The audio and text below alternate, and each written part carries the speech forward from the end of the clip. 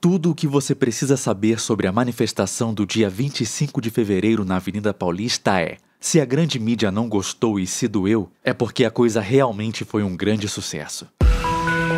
Este é o Visão Libertária, sua fonte de informações descentralizadas e distribuídas. O dia 25 de fevereiro de 2024 definitivamente vai ficar marcado na história da política brasileira. Afinal de contas, esse é o dia em que foi realizada uma gigantesca manifestação pró-Bolsonaro, contando com a participação de dezenas de lideranças políticas, como o governador Tarcísio de Freitas e os deputados Gustavo Gayer e Nicolas Ferreira, e também religiosas, como o pastor Silas Malafaia. O principal participante, contudo, foi mesmo o povo, que lotou diversas quadras da Paulista, pintando a famosa Avenida de Verde e Amarelo. O início do evento estava agendado para as 15 horas. Contudo, os participantes começaram a chegar bem cedo, por volta das 8 da manhã. Esse movimento todo, inclusive, fez com que a grande mídia não conseguisse tirar aquelas fotos canalhas da manifestação vazia, tipicamente usadas para ilustrar manchetes ridicularizando os atos. Então, quando Jair Bolsonaro finalmente chegou ao evento, perto do horário marcado, aí não teve para ninguém. A Avenida Paulista já estava tomada por um verdadeiro mar de gente. As estimativas a respeito das dimensões da manifestação variam bastante. Os organizadores afirmam que o número de presentes superou a marca de um milhão. Já a Secretaria de Segurança Pública de São Paulo estimou o número de presentes na Avenida Paulista em 600 mil. Se forem somados a esse montante as pessoas espalhadas pelas ruas adjacentes, o total chega a 750 mil. Ainda que a variação entre os dados seja considerável, não se pode negar que a participação popular foi gigantesca. Contudo, é claro que a grande mídia esquerdista não iria dar o braço a torcer e iria procurar especialistas que fossem capazes de abaixar esses números na base da marretada. Os pesquisadores do Monitor do Debate Político no meio digital da USP, por exemplo,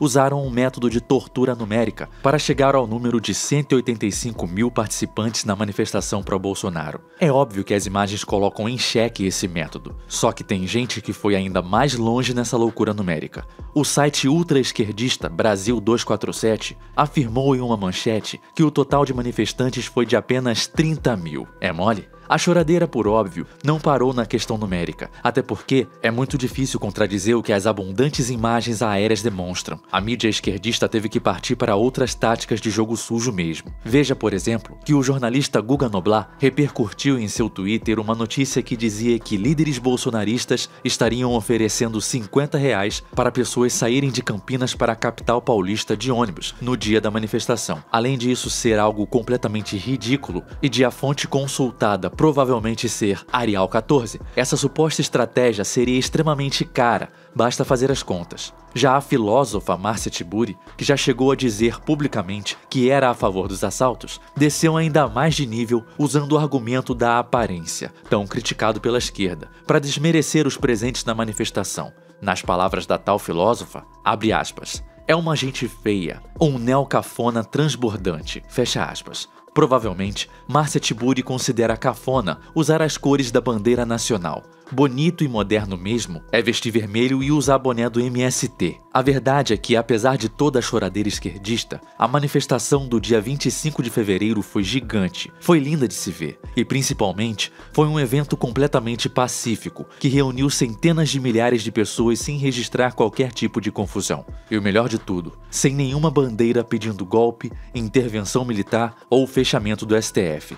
Parece que depois de apanhar igual pandeiro, a direita brasileira finalmente está aprendendo a pensar e agir de forma estratégica. Além disso, não podemos deixar de comentar que a manifestação carecia de membros da falsa direita, aqueles isentões que ajudaram a eleger o Lula. Felizmente, o ato não foi apenas enorme, ele foi muito maior do que a última manifestação do tipo, realizada em 26 de novembro do ano passado. Esse fato demonstra duas coisas. Em primeiro lugar, que as pessoas estão realmente de saco cheio dos desmandos dos Supremos Ministros e da perseguição política contra a direita. E em segundo lugar, que as pessoas não estão com medo. Muito se falou a respeito da possibilidade de todos os participantes serem enquadrados pelo STF, à semelhança do que aconteceu com o um evento de 8 de janeiro. Obviamente, isso não vai acontecer. Percebe-se, portanto, que não se trata apenas de aparecer publicamente para apoiar Bolsonaro, embora, é claro, esse apoio seja muito importante para a maior parte dos manifestantes. O grande ponto, realmente, é a vontade do povo brasileiro de dar um recado para o sistema,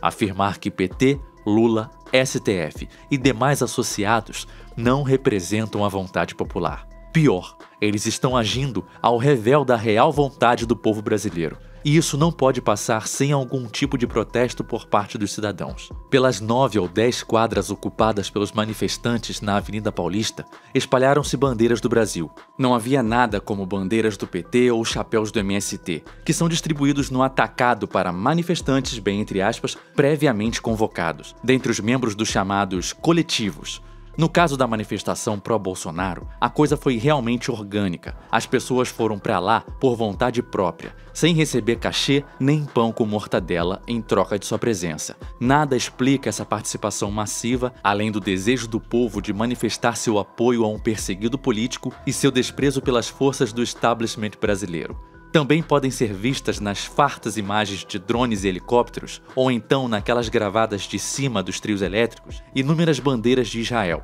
lado a lado com a bandeira do Brasil. Isso demonstra de forma inequívoca que o povo brasileiro não é antissemita e que, principalmente, não compactua com as loucuras terroristas de seu presidente. Essas imagens, que por sinal estão circulando muito mais no exterior do que na mídia brasileira, dão um recado contundente para o mundo. O Lula não nos representa. E ainda para manter o tema bandeiras, acredite ou não, mas nossa querida bandeira de Gadsden também estava presente. Diversas imagens destacam a presença da cobra cascavel desenhada sobre um fundo amarelo, pronta para dar o bote em quem nela ousar pisar. Para nós libertários, essa bandeira é um belo símbolo para tudo aquilo que nós defendemos. Porém, é óbvio que a esquerda não vê a coisa dessa forma, e na ausência de confusão, cartazes pedindo golpe e discursos inflamados, é nisso que eles tentam se agarrar. Veja esse exemplo. O perfil Jornalistas Livres no Instagram se descreve como um grupo independente em defesa da democracia e direitos humanos. Afirmou que a bandeira de Gadsden é associada à extrema-direita, ao individualismo e àquela tal liberdade de passar por cima dos frágeis para se dar bem.